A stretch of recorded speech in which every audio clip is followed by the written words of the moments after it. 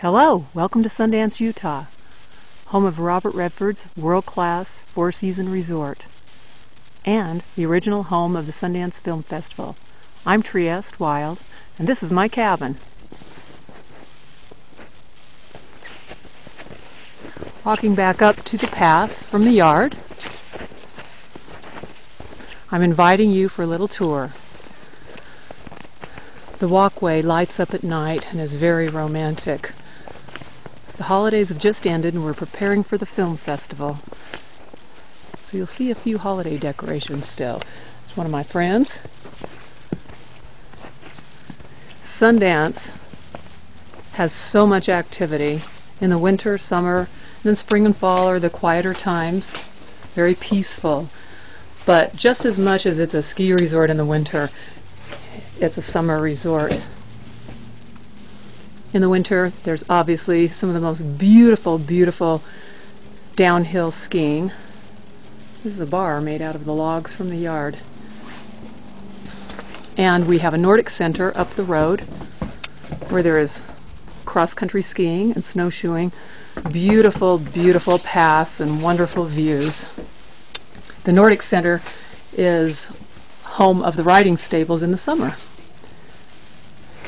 In the summer, you can ride up the lift with your mountain bike, mountain bike back down, or you can hike back down.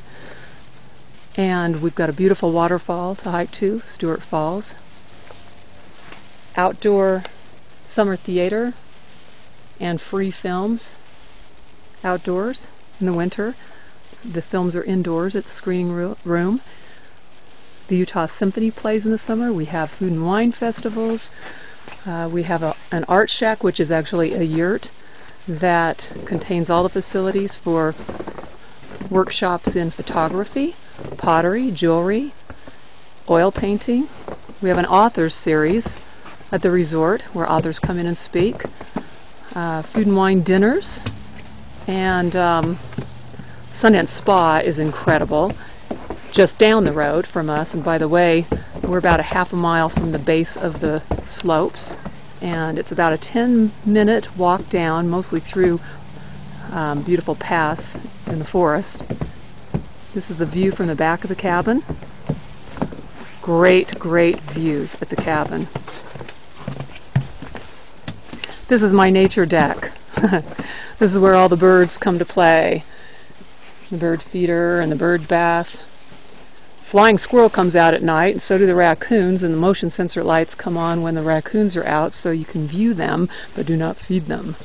Uh, the Steller's jays are, are gorgeous. We have about five of them. They're beautiful, huge, bright blue birds. The woodpeckers are amazing. We have 30 wild turkeys that run across the yard and play next door in the winter, and about 15 of them stick around for the summer. All the doors in the cabin are custom done by a local artist. All our floors are heart pine, except for a couple of carpet runners and an area rug in the living room, so it's very, very easy to keep everything spotless, and I am really a clean freak. You will never stay in a place as clean as this cabin. I use Hygienitech technology for my mattress and furniture sanitizing and you can find information on that online. And uh, do it about every six weeks. You won't find dust under the beds or any of the furniture. Very, very clean. I probably drive my housekeeper nuts. Picture windows everywhere. 16 foot ceiling, so this 1600 square foot cabin feels so much larger than the 1600 square feet. We have sofa bed downstairs and upstairs in the loft uh, den. And we've got a bedroom downstairs and upstairs with very comfortable queen size beds. The kitchen is fully stocked and deluxe equipment. Here's our back deck with the bent willow lounge chairs. This tree was cut down in one of the neighbor's yards. I asked if I could take it, so I found it a new home. New home for our aspen master bedroom is what we're entering now. There's a master upstairs as well. Beautiful pine ceilings. and heart pine floors, access to the deck from the master bedroom, hand painted furniture, and of course a picture window. Entering the master bath, we've got another one of our custom doors, and um, there's a jetted tub with a beautiful natural stone tub surround, floor to ceiling.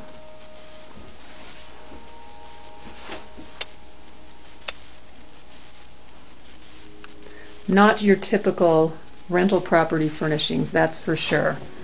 I've had such wonderful guests. I've never had any concerns with um, damaged pieces. Heading upstairs, we first enter our loft den, is what we call it, with our sofa bed. Entertainment center with games, TV, with uh, a VCR. Its own private deck with beautiful views, copper top bar table and chairs, and we have double-sided velvet privacy draperies. In the event someone is sleeping upstairs in the loft and wants privacy, because loft areas are generally known to be very open. My most favorite desk, in case you actually have to do work here. It's the loft hallway, some interesting pieces, and a suede carpet runner. Wonderful views. Another privacy drapery, although it's not needed in this room. This is our second bedroom suite. Both of our beds have the most incredible mattresses and fluffy comforters. They are not down comfort comforters, they're down alternative for those who have allergies.